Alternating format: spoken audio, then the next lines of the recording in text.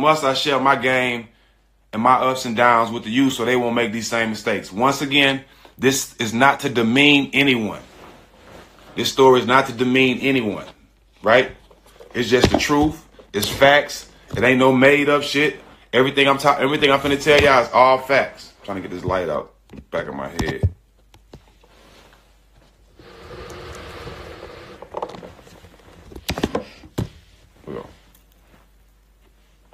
All right. Let me say this one more time. For all you motherfuckers who want to say what you want to say and don't want to hear what I said, hear what I said and try to twist what I say. This is not to demean anyone. This is not to demean anyone. These are facts. These are my life experiences. This is stuff that I've experienced, that I've learned from, that I want to share with youngsters so they won't make the same mistakes I've made. Is that clear? To all you blogs that's going to try to take what I say and put it on your blog and try to make a story that nobody ain't going to see anyway because you only got 660,000 followers. I'm not going to be the guy that go on your blog because you twisted something I said and and, and, and speak on it to make your blog get attention. Nah, I ain't that stupid, fam. I'm on Showtime. I'm on Fox. Okay, your blog because you twisted words and made up shit. No, anybody got a everybody got a blog. So 90% of the blog shit is false. All right. So don't pay attention to no blogs. Y'all know I'm a real one. So y'all can come right here to my page and I'm going to give it to y'all real. I ain't never lied about nothing and ain't no reason to lie now. Right? All right. So I'm giving game to the young man out here and tell them to experience. A hit dog will holler, bruh. This is facts. All right. So, and I hope, even women, I hope some women hear this and be like, you know what, I'm going to find me a one man. I hope this is for women and men, but I want my young man to take heed to this and take, listen to this and take the right advice from this. Love her through the good and bad and build with her. Because I'm telling you, if you think having a whole bunch of hoes and having multiple kids by women is something to brag about, it's the, it, it will ruin your life. Thank God it didn't ruin mine, but it will, it will, it will add a lot of stress to your life that you don't need, bro. Facts, all right? Right. For a year or two, um, I go to San Antonio, right? She's with me in San Antonio. So y'all know I won a championship. So when it was time for me to go negotiate my contract the following year, the team told me, "What's the number? It's we want you here, Jack. It's a number of reasons why you are here, and this is my first time ever hearing something like this. So one of the reasons why San Antonio didn't want to sign me back was because of the girl I was dating at the time. Said she was a bad influence to some of the other wives. They didn't like how she dressed. And San Antonio wasn't wasn't that type of organization, but how can you tell somebody how to dress? You know what I'm saying? This was my woman, so I didn't really care about it at the time. I didn't really pay him no attention. Cool, I'll bounce. You know what I'm saying? Y'all should be worried about my basketball, not who I'm dating, right? So that was that's that's one reason why I didn't sign back after we won the championship in San Antonio, right? Was because of the woman I was with, right? Bam. So go to Atlanta. Me and her fight in Atlanta. We I'm talking we have a rocky relationship in Atlanta.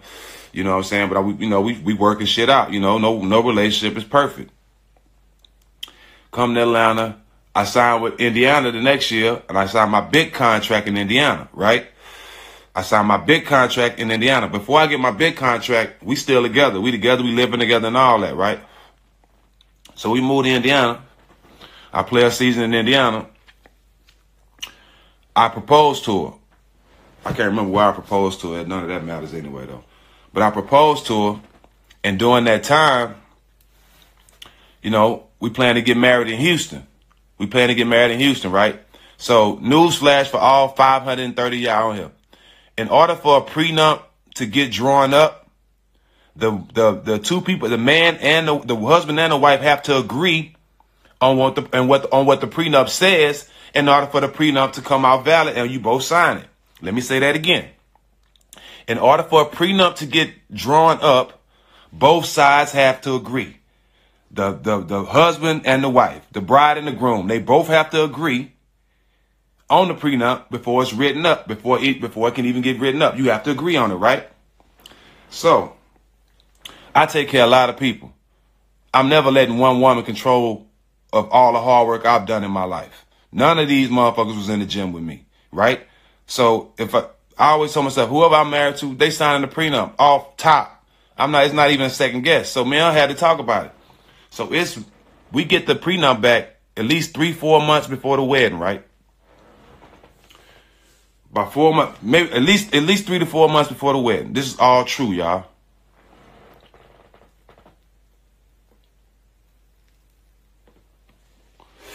So, four months, three, four months before when we get the prenup, I give it to her. Granted, when I give it to her, she shouldn't be surprised by it because me and her sat down and agreed up on the prenup, right? Me and her agreed up on the prenup. We agreed. Listen to me, y'all. We agreed on the prenup. Bam. So we agree on it. A month passed, like two months before the wedding. I'm like, yo, look, we need to get that prenup signed so we can go and, you know, send it in and get it, get it, you know, get all that taken care of. So when we get down there to Houston, we ain't got to worry about it. I tell her that like two or three times. It's a month. Well, That was two months before the wedding. It's a month before the wedding. Look, bro. I just we this is this is something we agreed on. We shouldn't be. I shouldn't have to keep coming tell you to sign this prenup, right? What's up, Bird? I shouldn't have to, Bird, you know about this. I shouldn't have to tell you to sign this prenup, right? This is what I'm telling her. This, the first time I came to it was two months before the wedding. Now it's a month before the wedding. I'm like, man, I've been asking you about this prenup. There's no way I should have to keep coming to you about this prenup knowing we had to agree on this before they even drew it up. So why do I have to keep coming to you about it, about getting, getting it signed? She's like, I'm going to sign it. I'm going to sign it. I'm going to sign it. I'm gonna sign it. I'm gonna sign it. I'm gonna sign it. I'm like, cool. You can sign it. But look, during that time, we making arrangements for the wedding, right? Because you know you still got to plan shit. So you know I love her, and I'm gonna keep it real with you. I was in love with her. You know what I'm saying? I was in love with her, and we was building a family. So I'm like, okay, cool. I ain't gonna make no big deal. I I I I I went with planning the wedding. I didn't stop. I kept planning the wedding. I told her several times, dog, about the prenup and asking about it. So bam. So as we this this this this is one of the twists of the wedding, right? So as we planned for the wedding, I'm from Texas, right? She from New York. I'm from Texas. I'm from Port Arthur, which is an hour from Houston, where we get married, right?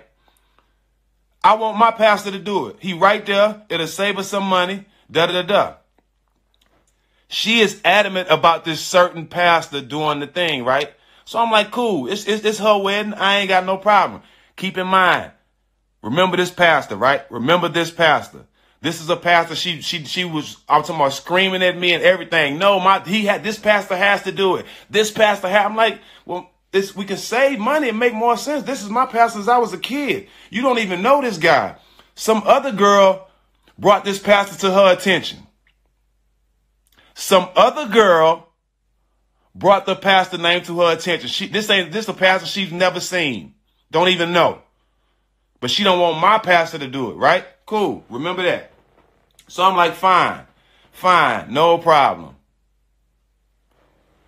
No problem. He can do it. Your pastor can do it. I'm cool with it. I ain't gonna be petty. Cool. I want you to have this is your day. Everything is yours. I spent about four hundred thousand on the wedding, y'all. About four hundred K, right? It's yours. Whatever you want to do. Hey, pastor don't matter to me. I just want to marry you. I don't even give a damn. Two weeks before the wedding. We going to Houston a week before the wedding. Now we at two weeks before the wedding. Everything planned, we ready to go. I'm like, look, bro, why I gotta keep asking you about this prenup, bro? It ain't like you don't know what's on it. Like, what motives? This is what I told her. What you up to? What motives you on? I ain't on nothing. I just ain't had time to sign up, planning a wedding. I'm like, man, listen, man, all you gotta do is sign it. You ain't gotta, it ain't like you gotta read it all over again. You know what's in it, da da da. I'm gonna sign it, I'm gonna sign it. Me being a, being a person I am, I know it's a wedding. and all that shit. I'm like, you know what? I know you probably just frustrated. I'm trying to be, I'm trying to be a, a, a, supportive man at the time. I know you're going through a lot, baby. I know it's up. You know, what I mean, just when we get, just make sure I get it for the wedding. You know what I'm saying? Da da da da. we go to Houston. We get there, right? We get to Houston. The night I get to Houston, you know, I, I, I she, we, when we get to Houston, we separate. So she go with her friends. I go with my guys. You know, I'm at home. This is my hometown. So, you know, I'm strip clubbing all kind of shit. Wilding out with the homies. My partner Weezy on here. He was there. Wilding out with the homies and shit, having a good time.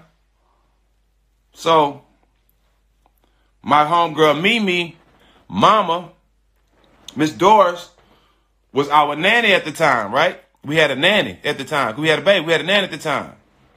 We had we had uh, we had our, my, my, oldest daughter, and my son was I think my son was on the way, and uh, so we had a nanny at the time, and uh, Miss Doris came to my room. I'm like Miss Doris, real Jay Sam's, what's up, my boy? I'm like Miss Doris, you know it's wedding in two days.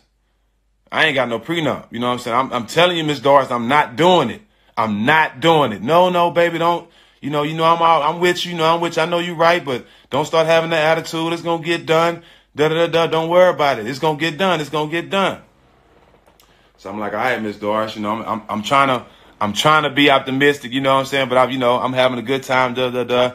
I'm like, am I having? A, I'm thinking in the back of my mind. Listen, man, I ain't getting married without no prenup. Fuck out of here. Not five. Know, that's what I'm thinking the whole time. I'm like, man, I can't believe this motherfucking girl and wait, wait until I spent all this money, got all the way down here, so bam. Miss Doris come to me uh, saying, don't worry about it, it's gonna get done. I'm gonna go get it assigned, da da da da, right? So, my nigga, this the day of the wedding. Hold on, let me file my shit back up. Y'all ready for the good part?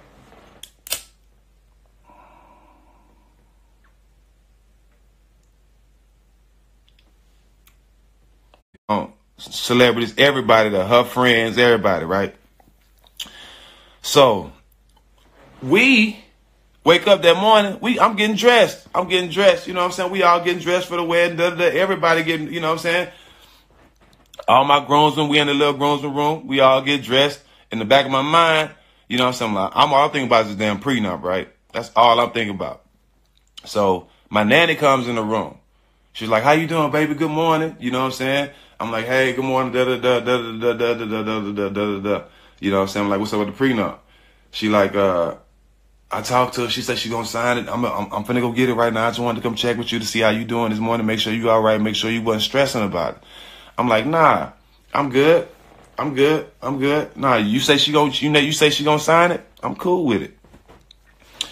Getting dressed, me and my boys drinking, smoking, all that, getting dressed, having a good time, da da da, whatever we doing for the wedding. So after we get dressed, where we stand at at the hotel, where we stand at is a big ballroom where we was having a wedding, right? So we had to walk, we had to uh, go get on this private elevator. Me and all my all my groomsmen, we get on the private elevator and we go to a little back room. Where from the back room we just walk out into the wedding, right? So when we get to that, when we get to that room, that's when I, once we get in that room, you know what I'm saying? I'm like, okay, hold up. You know what I'm saying? This will not really turn up. You know what I'm saying? I'm like, man, hold up, hold up, man, hold up, hold up. You know what I'm saying? I, you know, and then this, this, this one, Steph, this why, this why Steph Marbury and Mike Bibby, my brothers. All right. For life. Steph Bibby, Steph, uh, Marbury and Mike Bibby are my real brothers. Like my real brothers. You see what I'm saying? No bullshit. These are my real brothers. So we in the back, we walk to the back room and the motherfucking um the uh the priest come in, the preacher come in with with his with his uh, other with his assistant, I guess, and then my nanny come back in there with a with a with a, like a with a spook look on her face, like she still like she she pulled me to the side and she like she still ain't signed it. So when I said that, I'm like, well, shit, I ain't getting married then. She was like, ho, ho, ho. And so look, so the preacher, remember the preacher, y'all. Remember the preacher. When I say, when I say, oh, I ain't, no, I ain't getting married. Steph was like, she ain't signed a prenup. What the fuck? What we even here for? I'm like, yeah, dog, I ain't doing it. The preacher steps up. He's like, hold on, hold on, hold on, hold on, hold on. The preacher says, hold on, hold on, hold on, hold on. I look at him like, he said, this is what he say. He say, now, now hold on. Don't, now I know you love this girl. Don't make a drastic decision. I think you should just let God handle it. I say, huh? I think you should just let God handle it. Me, as a, as a pastor, I don't believe in prenups. Nah, I know why she was fighting for you. You don't believe in prenups. Nah, it all makes sense. I ain't getting married. Damn what you believe in. I put everything in God's hand. And God is telling me to put the pen in her hand and make her sign this goddamn prenup before I get married. That's what God telling me. So God telling me and you two different things, partner. As that's going on, Steph Marbury grows crazy. Hell nah. No, we ain't doing it. Hell, no, it ain't going on. Steph go crazy. Mike Bibby walks. Are you serious, Steve? Fuck out of here. Everybody, no, no, no, no, no.